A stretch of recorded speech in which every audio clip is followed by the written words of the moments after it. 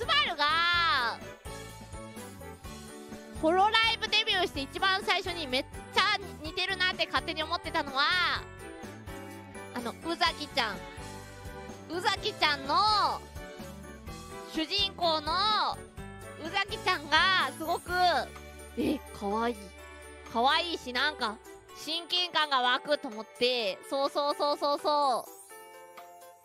えでそっから実はスバル普通に宇崎ちゃん好きになって普通に読んでるっていう。